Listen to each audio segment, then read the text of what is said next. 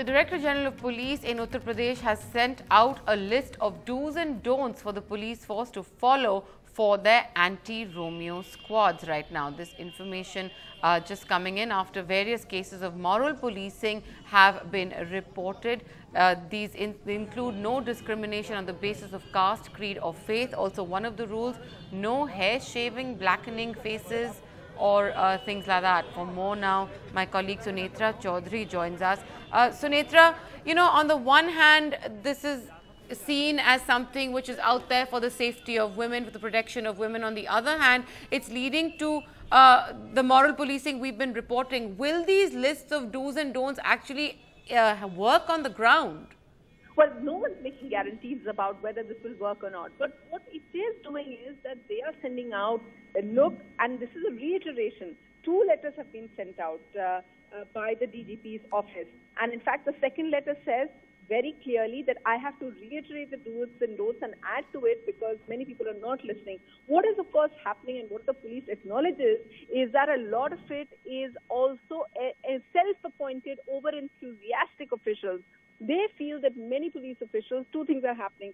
They might want to curry favors. They look at the new government coming in. They think that this is what the new government wants, and that's why they are being over enthusiastic. So this letter goes out as a clear message to them that look, you cannot harass them.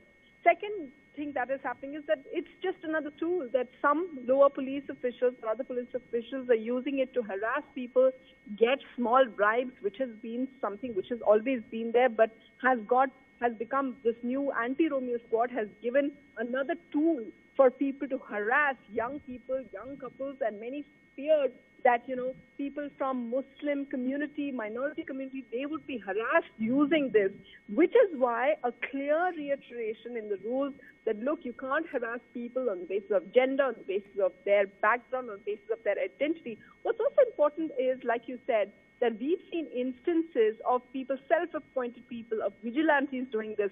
A clear, clear indication that only police personnel in civic clothes and civies or some of them in uniform, only they are authorized to doing this.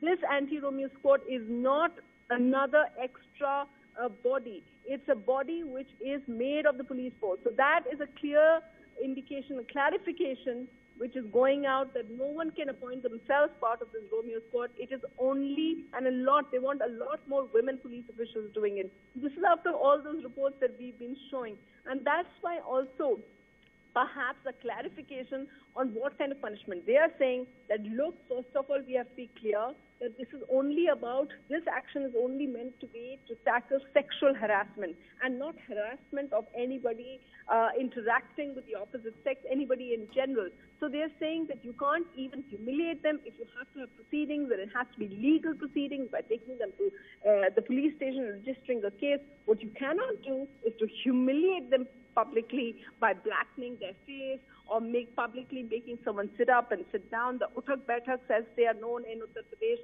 and things like that. So uh, if we don't know whether it's going to totally work, what we do know is that it is an attempt to do some damage control to some of the disturbing reports that are emerging from the state.